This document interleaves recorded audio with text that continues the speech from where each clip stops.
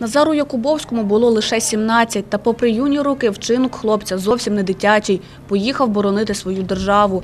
На сході Назар приєднався до лав добровольчого батальйону Айдар. Побратим хлопця, боєць із позивним Роберт, згадує його як добру та відповідальну людину. Він такий був дуже, дуже працьовитий хлопець, бо я замітив чого його, тому що він саме більше працював. Ну, землю, лопатою, так, ну, старався так, щоб він, щоб, знаєте, щоб ми, наоборот, йому лишнього слова не сказали. Треба було піти на пост зі зброєю постояти, він стояв зі зрослими. Вадиму Шалатовському був 31 рік. Чоловік мав сім'ю, дружину та двох діток. Саме заради їхнього кращого майбутнього Вадим взяв у руки зброю. Дуже хороша людина і все.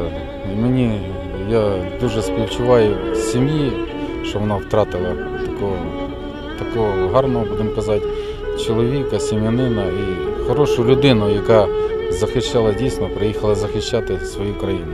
Хоч хлопці були у різних ротах, смерть зустріли разом. 5 вересня, вірніше, їх, е, будемо казати, відправили, що вони там на допомогу мали е, вийти на допомогу, але там сталася засада. Так вони попали і так вони загинули. Та поховати загиблих вдалося не відразу. Е, Вони лежали четверо, почти п'ять суток, е, їх не, розрішали сепаратісти взяти звідти. А жара була майже 40 разів. Ви Уявляєте, що з тілами е, зробилося за 5 суток. Тільки через 5 суток їх змогли звідти забрати. Потім їх поховали, 28 чоловік поховали в Старобільську, братській могилі.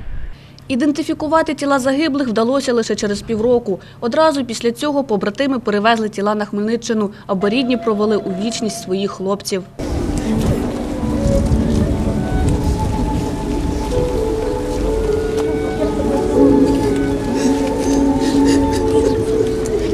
Зі сльозами на очах під вигуки герої та стоячи на колінах, попрощатися із загиблими прийшли ті, хто знав їх особисто. Я знав особисто е, Вадима Шалатовського, це мій кум. Ми з ним знайомі більше десятка років.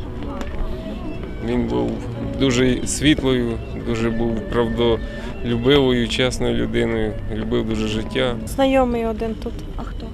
Якубовський Назар. Можете розказати про нього? Ну, 17 років було. Такий спокійний, хороший був. І просто небайдужі хмельничани. Я їм дякую за те, що вони нас захищають. Надіюсь, що все буде добре, що ми переможемо. Це біда не тільки батьків, а це всього суспільства, всієї нашої країни. Вони нас захищали і вони померли за нас.